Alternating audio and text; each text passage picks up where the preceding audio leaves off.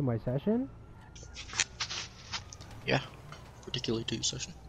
Uh, okay, Caleb.